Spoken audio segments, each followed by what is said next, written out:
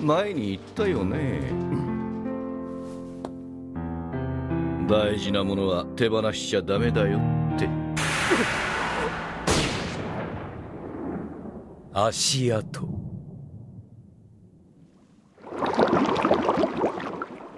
急激にレベルを上げすぎだわ。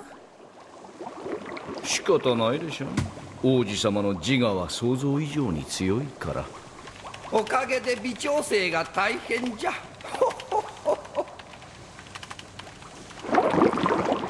しかし。壊しはしないよ。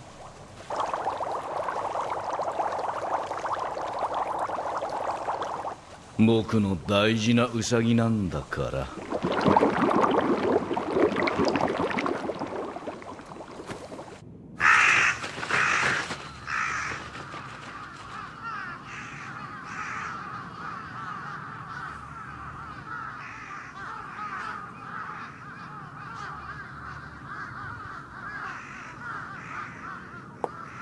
独学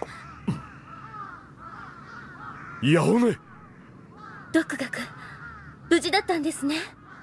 お前今まで一体どこに？リリンはどうした？お前もリリンもどこ探しても見つかりゃしねえ。俺がいない間に何があったんだ？ごめんなさい。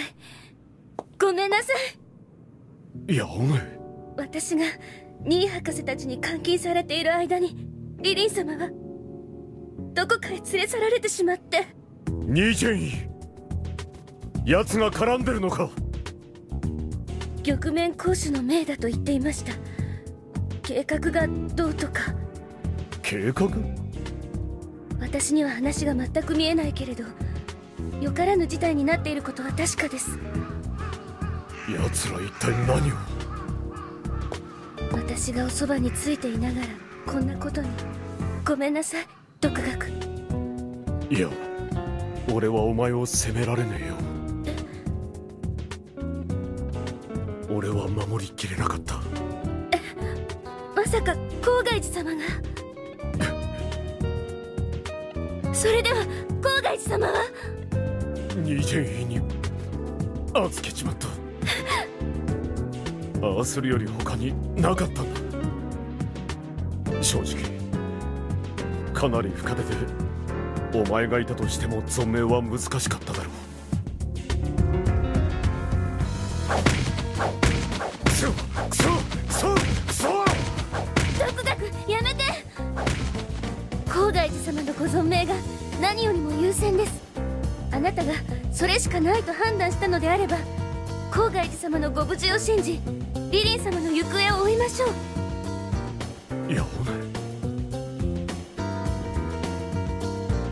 私たちにできるのはそれだけです。うう。サビ岩場抜けたらすぐ村じゃなかったのか？変ですね。この地図古いんですかね。三蔵本当にもう大丈夫なのか？あ。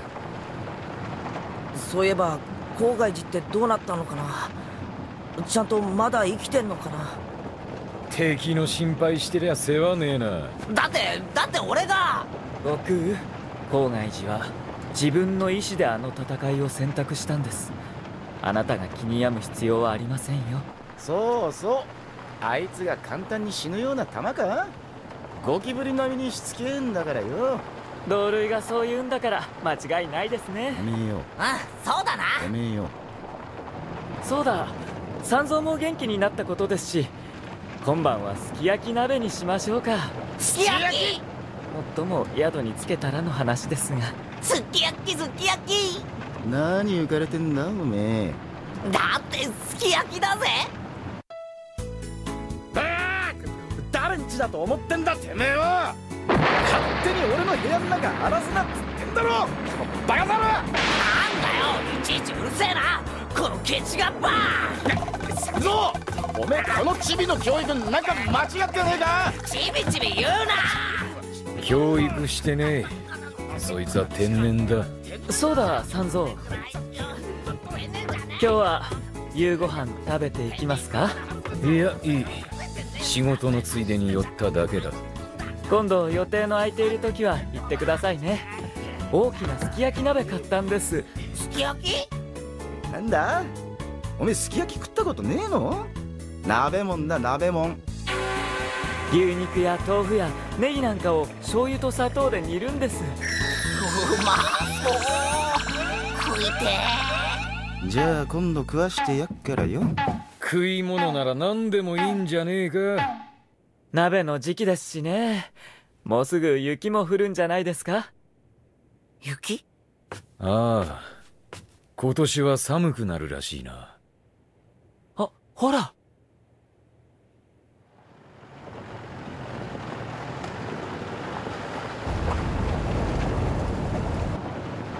雪。へえどうりで寒いと思った。この分だと今夜はかなり冷え込みますね。ねえそいつはやばい。野次軍だったら全員投資だ。急げはぐ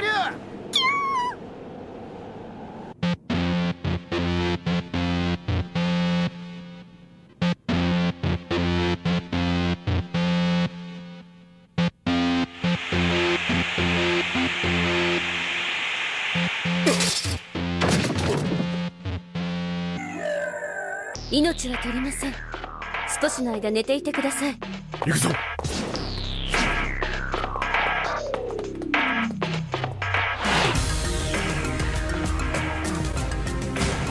ここまでの厳重な警備奴らの計画ってのは一体？もしかしてリリン様と何か関係が？そこで何をしている？こうなったら強行突破だ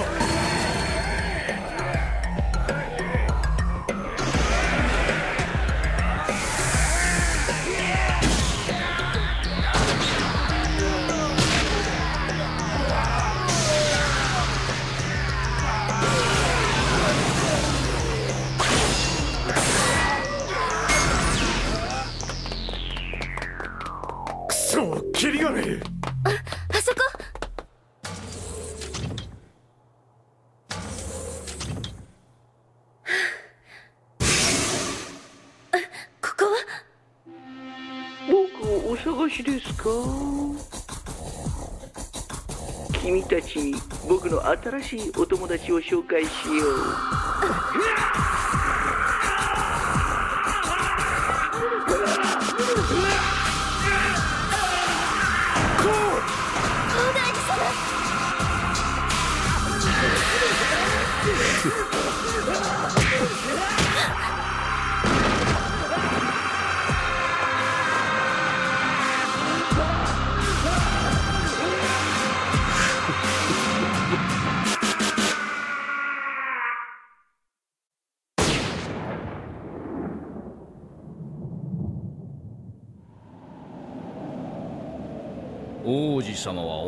以上に重傷でしてあなたたちはしばらくここで静かにしていてください。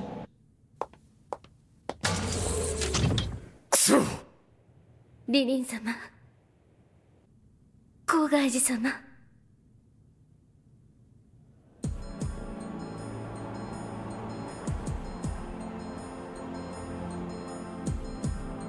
へえ寒ー部屋が空いてるか聞いてきますおい待てよたくも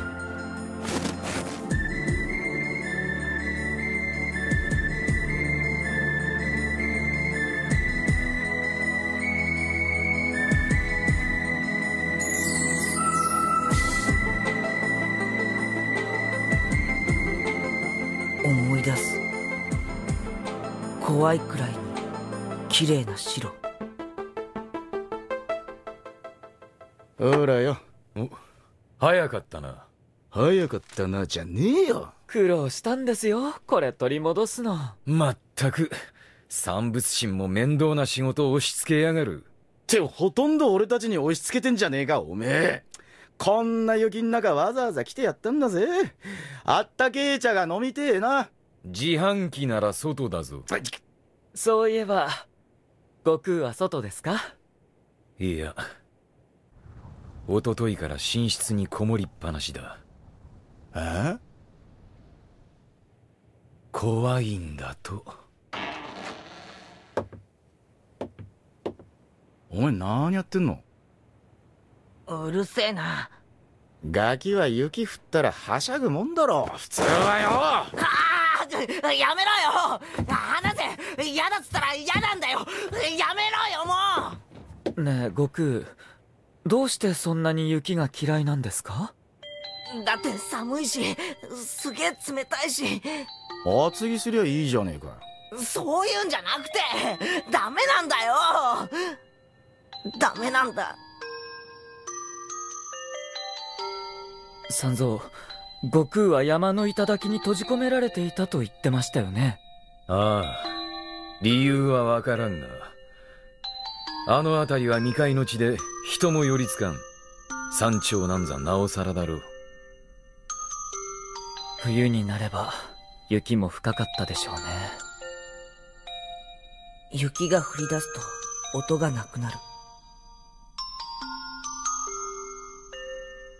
怖いくらい静かで寒くて冷たくて誰もいなくて誰かを呼びたいのに呼べる名前もなくて。どこまでも真っ白な綺麗すぎるくらいの白に閉じ込められてく。俺しかいない世界。ただそれがただ怖くて。ちしょうがねえな。ピンポンパンポンお呼び出しを申し上げます。え長安にお住まいのえバカザル様。え生草坊主様。足が長くて超かっこいい佐護城様がお呼びです。そんな男には覚えがねえな。何やってんの五条。すき焼きだ。行こうぜ。え今から？あら早く出てこいよ。今度でいいじゃんかよ。何言ってんの？雪の日は鍋だろうがよ。五条と二人だけで鍋囲んでもつまらないですしね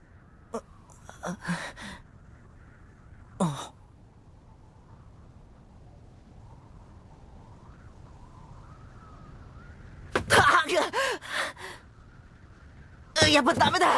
マジそれだけは勘弁して。今度絶対行くから。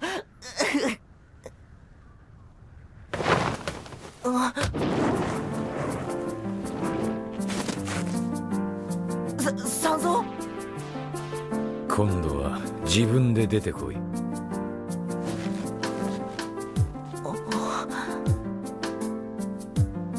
悟空。なんだよ。なんだよもうみんなしてさ。すき焼きはうめえぞ。牛肉長ネギ豆腐しいたけ白滝も忘れちゃいけませんね。符も入れろ食いもんで釣るなよ畜生。あとは炊きたてご飯かな。まだあるんじゃねえか？来いよバカザルバカザル言うな。クソガッパ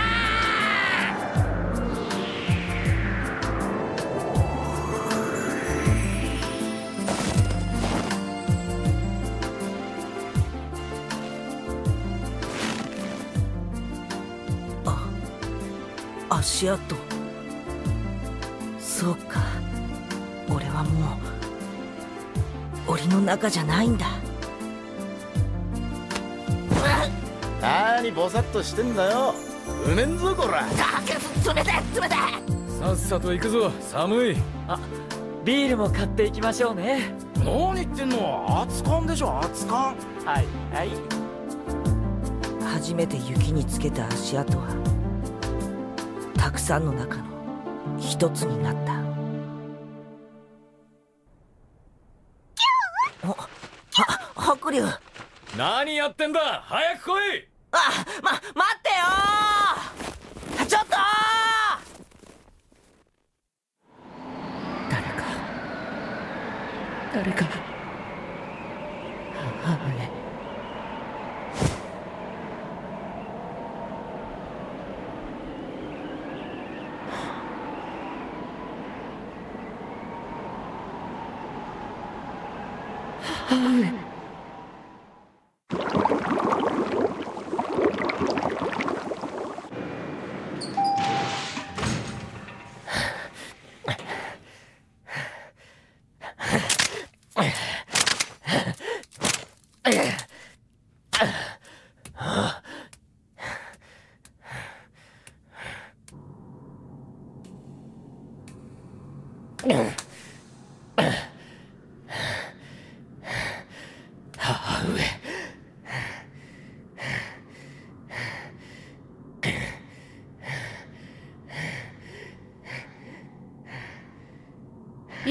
ぱりね。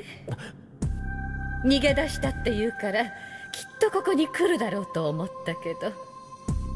とんでもないマザコン坊やだわ。貴様。貴様ら俺の体に何をした？何って失礼ね。親切に治療してあげたんじゃないの。嘘だ。これは何だ？頭の中で俺の意識とは別の思念が働く気を緩めた途端に全てを持っていかれそうになる。体のついでに心も楽にしてあげたんだよ。王子様。君が望みもしない戦にけなげに挑んでいく様が痛々しくてね。手助けしてあげたわけ。君はもう何も考えなくていいんだ。この人形みたいに。貴様ら俺に何を？プロセス的には大脳皮質レベルまでの処置は終わらせているんだがね。想像以上に王子様の自我が強くて洗脳を拒んでいるようだ。洗脳？だと？さすがに下級の妖怪とは精神力が違うね。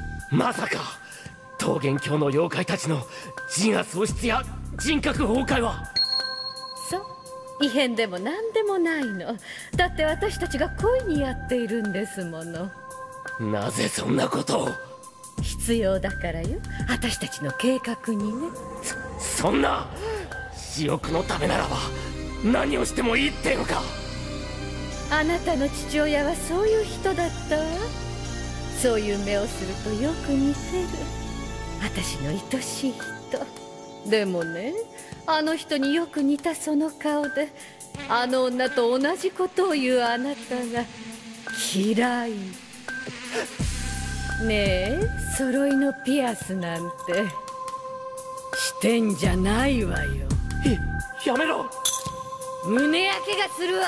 触るな。やめろ。やめろ。やめろ。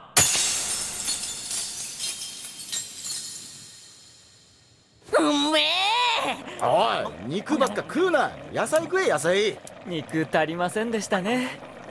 ったくよ卵は黄身だけ入れるもんだ。それから肉と白滝を近くに置くと肉が硬くなる。鍋奉行かいおかわり。やめろ。高外寺様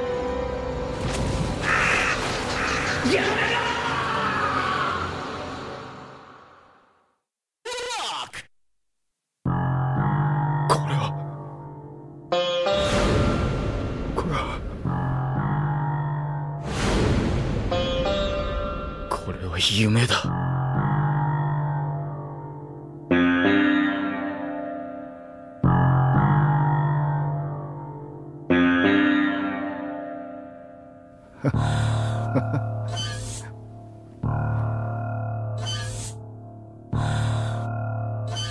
なんでみんな死んでんだよ。おい。なんでなんでこんな。なんで？だってあなたが望んだんじゃない。胸くその悪い夢。何がどうしてこうなったのか。叶えられない願い。白龍の具合が悪い？ええそうなんです。熱もひどくて風邪かな？ここ連日走りっぱなしでしたからね。疲れも溜まってるんでしょうけど。いやー少し休ませてやんねえとな。そうですね。無理をさせるわけにもいかないですし。三蔵。うん。そういうわけなのでこの町に23日滞在してもいいですか？ああ徒歩で行くったってたかが知れてるんだ。この際仕方ねえだろよかったそれじゃあ早速お願いします。え？なにこれ？買い出しメモに決まってるじゃないですか。僕は白龍についてなきゃならないんで。おい猿一緒に。あ悟空連れてっちゃダメですよ。二人してすぐ余計なもの買ってきちゃうんですから。ったく。ど？ん？タバコ一緒に買っておけ。このクソ坊主。ったくよ。なんで俺がこんなことしなきゃなんねんだこんなん抱えてちゃ女も引っかかんねえしよ。俺は雑用係じゃねえっての。あららお前のせいだろうがよ。だからぶつかったせいで俺の靴が汚れたっつってんだよ弁償しろよ弁償。そんな小綺麗な服着てんだ。金持ってんだ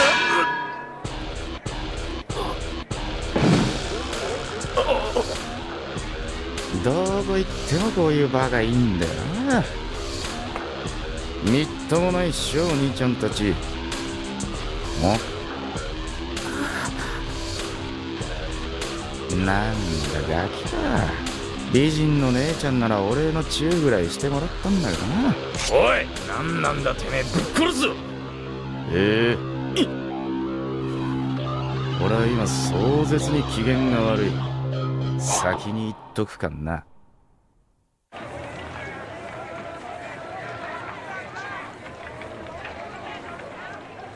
ほらよ。あありがとう。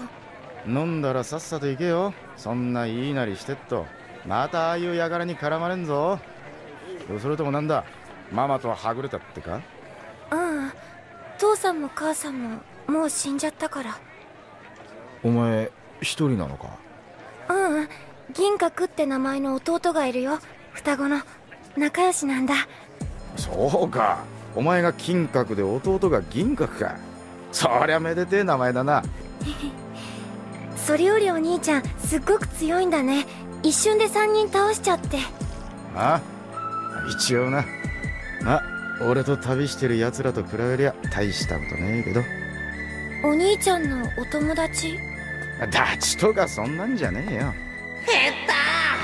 減ったったら腹減った。脳みそ胃袋なバカザルと。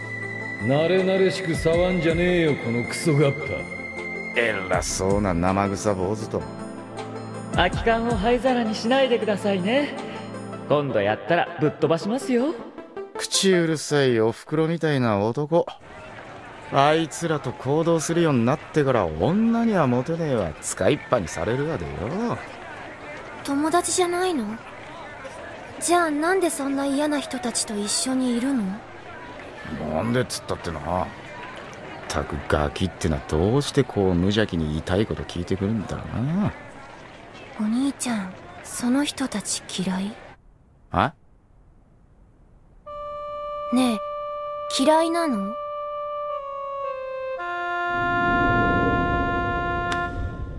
銀閣？うんいい人だったね。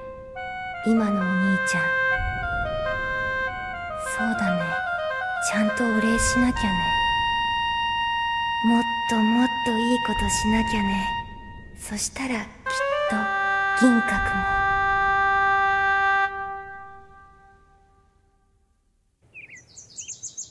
も。遅えな。そうですね。やはり単独行動させない方が良かったかも。何事かに巻き込まれてないといいんですが。あいつの安否なんぞどうでもいいがな。俺が遅いってのはタバコのことだ本数控えるいい機会じゃないですか。最近五条といい勝負ですよ。なあ。おっと。あはいはい。腹減っ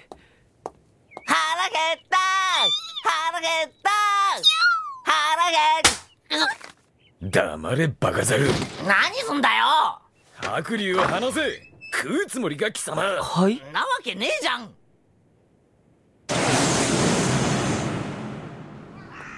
うう余計なことしてたら日暮れちまったじゃねえかったくおおとりあえず買ってき。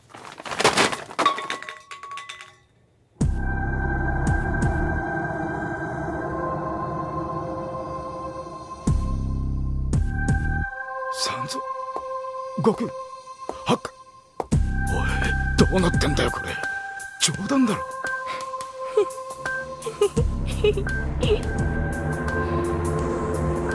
あなたが望んだんだよ。お兄ちゃん。お兄ちゃんの言う通りだね。この人たち悪い人たちだったよ。脳みそ胃袋なバカザル偉そうな生臭坊主。うるさいおふくろみたいな男。これでお兄ちゃんの嫌いな人たちみんないなくなったね。みんな僕がやっつけちゃったから。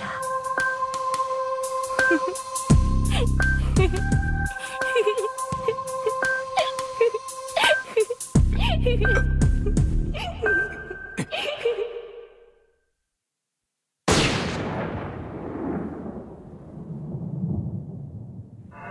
けてくれたお礼だよお兄ちゃん。なんだよそりゃこれをお前がやったってのかよ。お前まさか牛魔王の資格か。牛魔王？知らないすっとぼけてんじゃねお兄ちゃん。えてめえこいつらに何しやがった！なんでなんで怒るんだよ。だってだってお兄ちゃんが。銀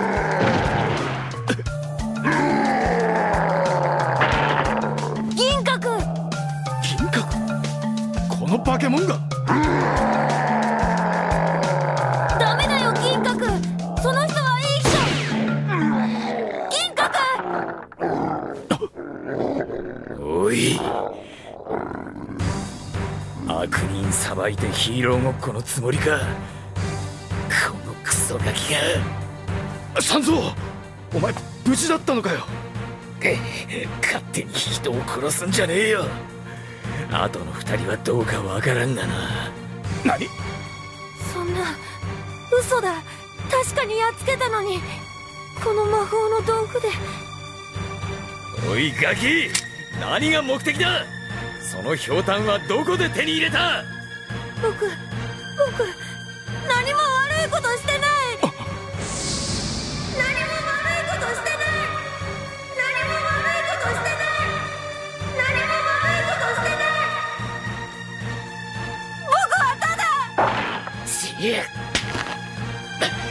クソ坊主ガキに向かって撃つやつがあるかよ！離せこのバカ！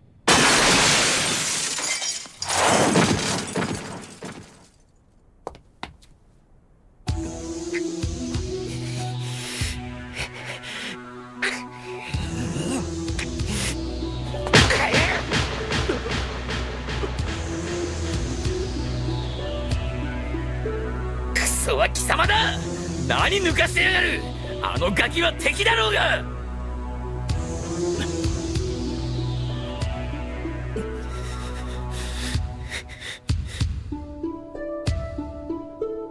悪い。それとも何か？あのガキの言う通りこれが貴様の望みなのか？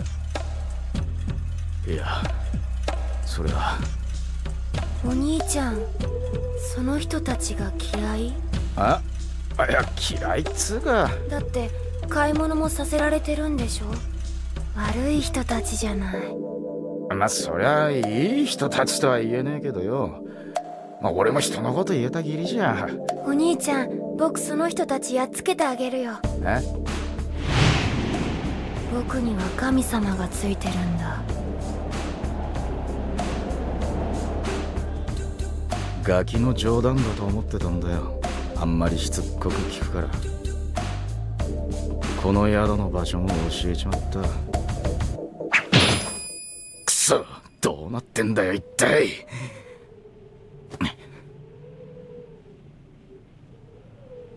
なんとか言えよ。なんとか。バカにしてんのかてめえ。バカにしてる以前の問題だ。貴様と喋るとバカが映りそうでな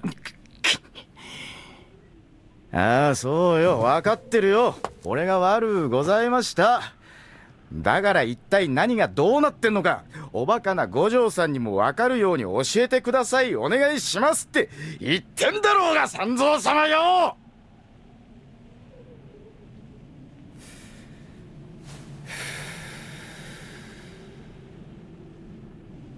俺たちも油断はしていた。はい？おや？僕らの部屋に何かご用ですか？それとも迷子さんかな？お兄ちゃんたちが悪い人たちだね。え？悪い人たち見つけた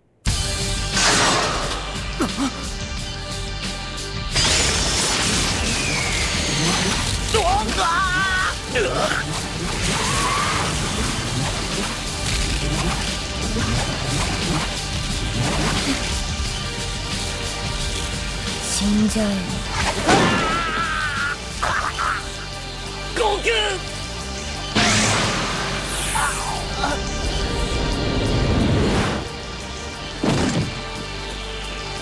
悟空そんな悟空がまさかあれくらいのことで。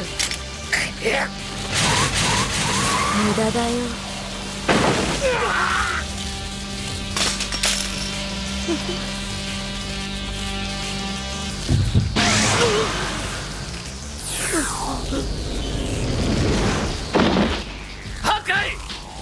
氷弾に魂を!なるほどそういう仕掛けか。あと一人。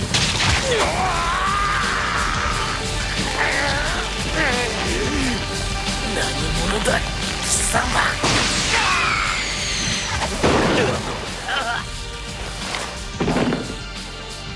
バイバイ悪いお兄ちゃんたち。行くよ銀閣。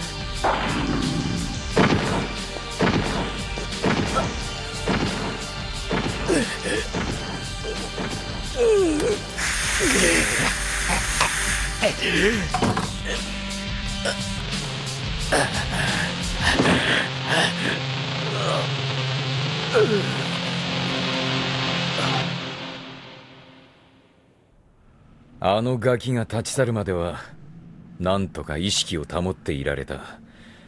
だから俺だけは無事だった。どういうことだそりゃ。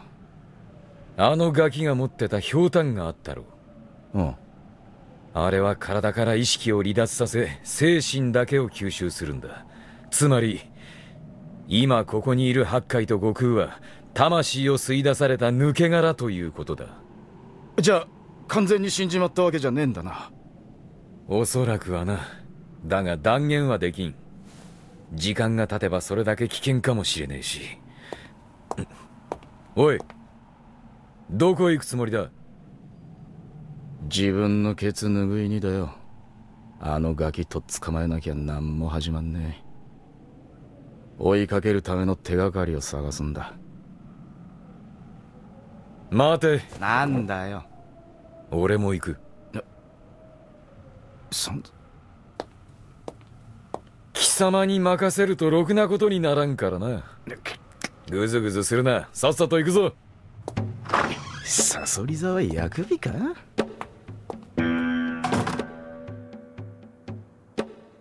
子供と化け物？うん。子供はともかく化け物の話なら耳にしたがねえ。えでどんな話だこの町の裏手に山があるだろう。ちょうど今から1年前くらいかな。そこにでっかい化け物が出るようになったって噂でねで被害は出てるのか？いや化け物に襲われたって話は聞かねえな。ただただ？ここ数ヶ月町の人間が変死することが多くてね。変死？外傷は大したことないのによまるで魂が抜けたみたいに死んじまってんだなこれが。ただね死んじまった人間のことを今更悪く言うのもなんだけどここだけの話。奴らみんな街で煙たがられてたような連中ばかりでね。仏罰が下ったなんて言われてるもんさ。行くぞ。サンキュー参考になったぜおいさん。探したぜ赤い髪の兄ちゃん。借りを返そうと思ってな。誰だっけ？すっとぼけてんじゃねえよ！ああ思い出した。昼間の連中か。悪いな。今遊んでやる暇ねえんだ。まったね。あてめえ！逃がすと思ってんのかよ次 から次へと大した役日だな。おいいやーここまで来るとサソリ座だけのせいじゃねえな。いて座はどうなの？貴様のしでかしたことにいちいち俺を巻き込むんじゃねえよ。このタコ。こっちだって好きで背負い込んでんじゃねえんだよ。クソハゲ。地獄を見に行く度胸があるならもういっぺん行ってみろ。ゴキブリガッパ。地獄ね。綺麗なお姉ちゃんのエスコート付きなら考えてやってもいいぜ。この自己中俺様坊主てめえの行動パターンなんざお見通しなんだよ。今弾当たったかブワーか。わざと外してやってんのがわからんのか。めでてえ男だな。なに大体なてめえとは初めて会った時から馬が合わねえと思ってたんだよ。黙れ。それはこっちのセリフだ。三物神の命令が下らなければ貴様みたいなクソガッパと旅なんざこっちから願い下げだってんだ。少しは頭を冷やせ。てめえの方こそちぎれてんじゃねだと思ててろ!上等じゃねえかこらてめえら俺たちの存在無視してんじゃん!うぜえよ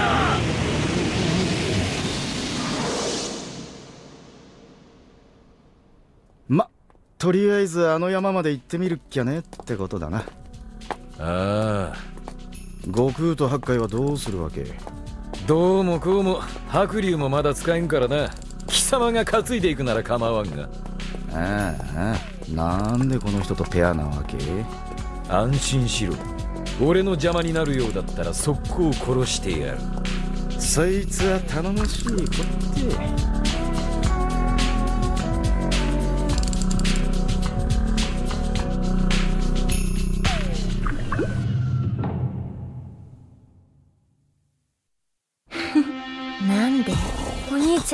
僕その人たちやっつけてあげるよ。え？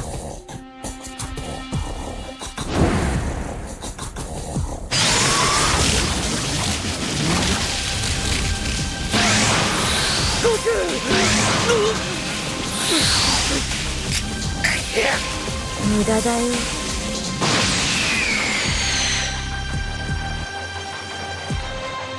あなたが望んだんだよお兄ちゃんこれでお兄ちゃんの嫌いな人たちみんないなくなったね。悲しい絆。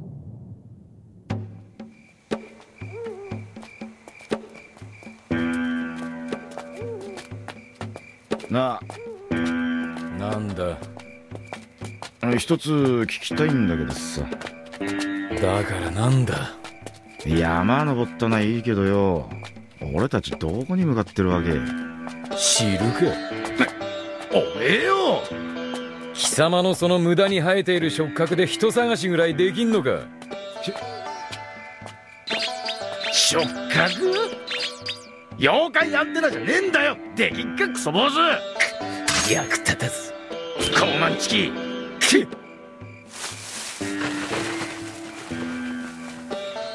こうさ拉致が開かねえから一旦状況まとめねあてもなく山ん中歩き回ったってしゃあねえよ貴様にしちゃいい意見だな。であのガキについて知っていることは？特にはねえけどよ。名前は金閣。両親は死んだって言ってたな。で銀閣って名の双子の弟がいるって。そういえばあのガキあの化け物のことを銀閣って呼んでたな。ああ似てねえ双子だぜ派手な飾り物だな。貴様の頭は。んだとこら。生まれついてのものかどうかは分からんがあの化け物の姿はおそらく何らかの異変によるものだろう。異変？それにあのガキの異常なまでの善悪へのこだわりも気になる。まるで誰かに吹き込まれたようだ。裏に何かあるな。神様か。んなんであいつ言ってたんだよ。神様がついてるって。僕には神様がついてるんだ。ご悟空悟空起きてください。悟空ああ赤い、はああよかった。大丈夫ですか？何？もう朝飯？だったらよかったんですけどね。え？おあ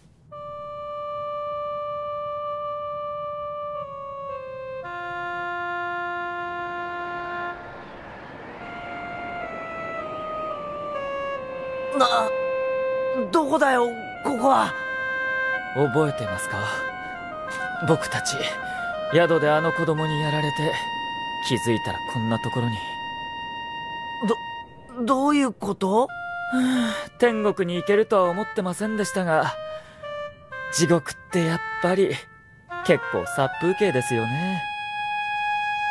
嘘。俺たち、死んだ？はい、おそらく。なあ地獄でもちゃんと飯食える？一日七食ちゃんと出る？さあ、そんな攻めっ子は聞いたことがありませんね。ま、冗談はともかく、悟空、死んだ気がしますか？全然納得いかねえよあんぐらいで死ぬなんてですよね。あ三蔵三蔵は？それなんですよ。ここにいないということは助かったのかもしれません。じゃあダメじゃんえ？俺たち、三蔵より先に死んだらダメじゃんそ、そうですね。僕も残してきたのがあの二人かと思うと、死んでも死にきれません。じゃあ、まず、帰らないとですね。ああそれにしても、出口なんてありますかね？ずっと向こうまで、何も見えねえぞ。んうわ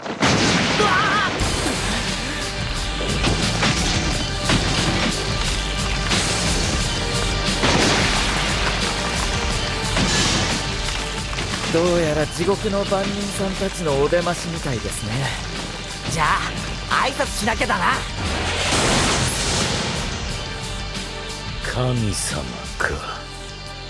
っていうかそう名乗ってるやつかな。多分。それよりささっきから気になってんだけど。貴様に言われるまでもねえよ。おいこそこそしてねえで出てきたらどうだ？二人しかいねえ三蔵一行とはな。好都合だぜ。二人まとめて仲良く始末してやるよ。現状三蔵に佐護城牛魔王の資格それとも賞金稼ぎか。またタイミングの悪い時にわざわざ。五条お前疫病神に決定甘んじて受けとくわ。ほんと今日のサソリ座最低。きっと占いに今日は一日どこにも出かけないこととかなんとか書いてあんだぜ。シールか。何をごちゃごちゃ言ってる。覚悟はできてんだろうな。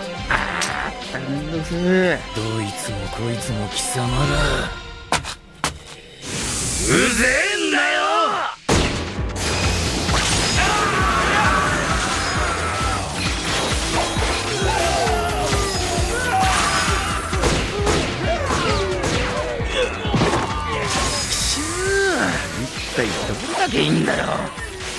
様が元凶だ。残りは全部片付けろ。やだ三蔵様ったらもうダウン。あやっぱ年？ててめえ。土佐巻きで俺撃つんじゃねえよ。このクソ坊主。邪魔なんだよこのゴキブリ野郎。なんだとこのタコ坊主。タコはてめえだよがなんだ。仲間割れか？仲間じゃねえ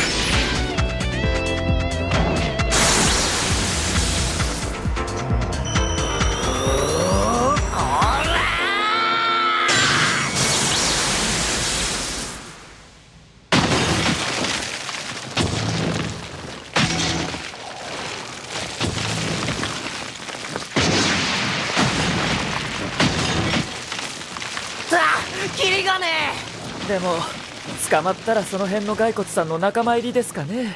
ええなんで死んでまで殺されなきゃなんねんだよ。同感です。どうする？破壊？そうですね。僕に作戦があります。作戦？どんな？とりあえず。とりあえず？逃げましょう。ええー、かっこ悪い逃げるってどこまで？うーん。うーんって？まだ状況が飲み込めてないんですけどね。五条と三蔵が無事なら何か突破口を作ってくれるんじゃない。いやきっと。いや多分いや作ってくれるかも。いや作ってくれるといいななんて。すっげえ不安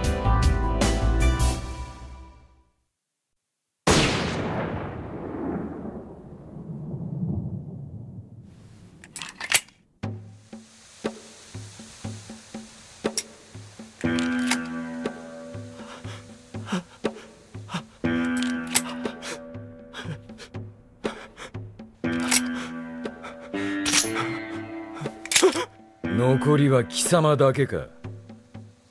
このクソ忙しいのに10分も手間取らせやがって。高くつくぞ。ほんと随分と舐められたもんだぜ。二人しかいない三蔵一行がなんだって。数じゃねえんだよバーカ。何を偉そうに。やった数は俺の方が多かったろうが。ああ？どこがだよてめえあんま動かねえで銃ぶっ放してただけじゃねえかよ。確かにお前は動いてた。ドタバタとな悪うございましたね。足音がでかくてよ。道連れだ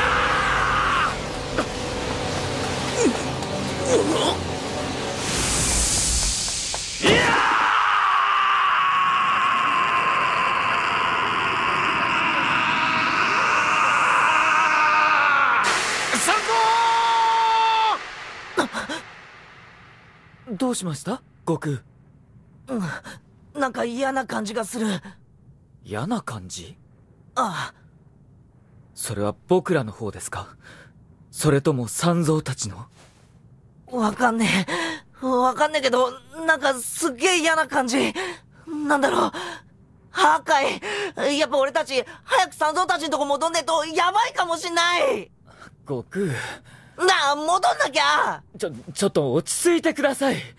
僕だってまだこの状況が飲み込めてないんです。気持ちだけで先走らずに。考えることも時には必要ですよ。悟空。あそっか。ごめんなさい。あいえ。僕の方こそ言い過ぎました。あ悟空 でもなんか八海って俺にいつも優しいからさ今みたいに言ってくれるのってちょっと嬉しいかも。悟空 あ地震な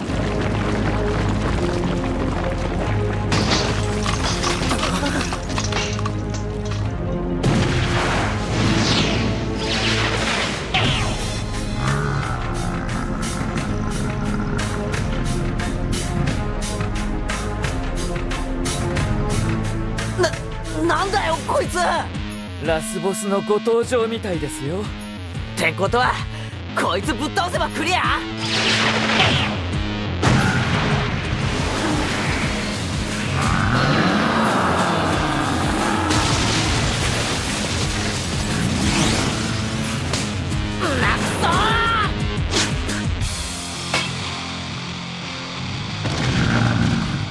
げ全然効いてねさっきの全身タイツさんたちと違って直接的な攻撃は通じないんですね。別の手段を考えないと。えじゃあ俺ダメじゃん。八海の気候法でなんとかなんねえの？ええ。ちょっとでかすぎますよ。無茶言わないでください。魔界天井なら一発なんですがそうも言ってられませんしね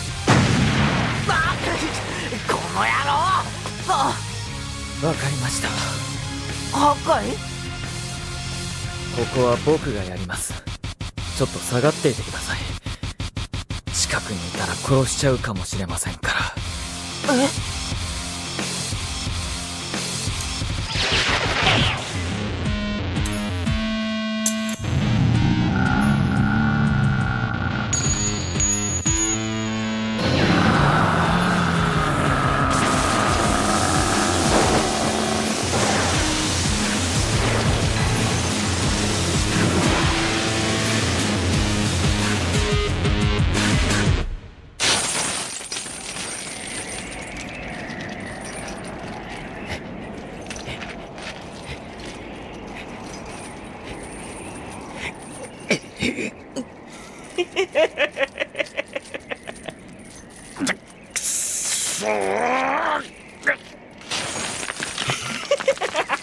落ちろ落ちろ俺と一緒に落ちろ。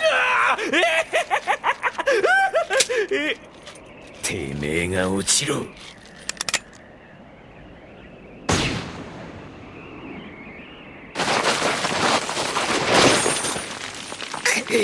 しっかり支えてろ。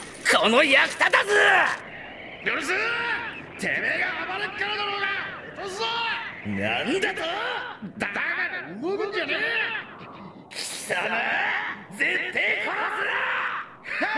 すな。その前に自力で上がってこいっての。もう最悪。そりゃこっちのセリフだ。お前見かけによらず思ってんだよ。余計なお世話だ。助けろなんて言った覚えはねえ。俺だって好きで助けたわけじゃねえ。じゃあなんだ？落ちてる本見ると拾いたくなるだろうが。この貧乏症が。ほっとけ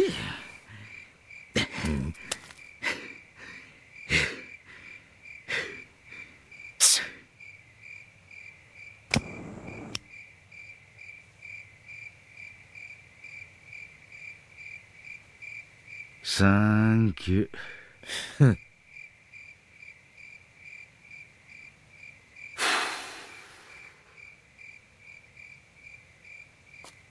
ほら立ててな何しやんだ。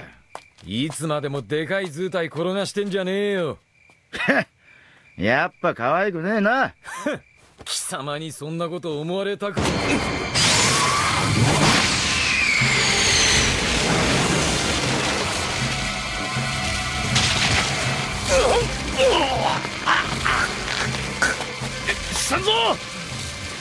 なんで来ちゃったの？ねえお兄ちゃん。なんで来ちゃったの？金やっぱりお兄ちゃんも。悪い人なお前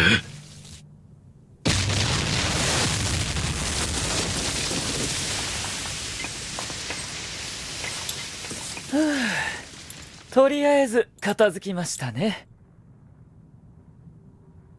つつえちょっと加減ができませんでしたね。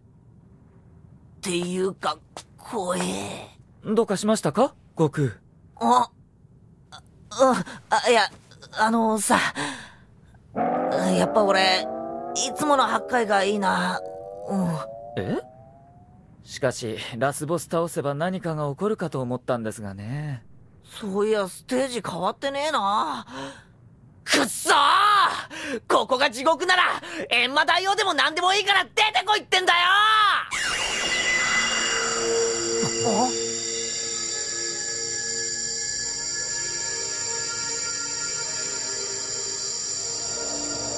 な今度は何だってんだ？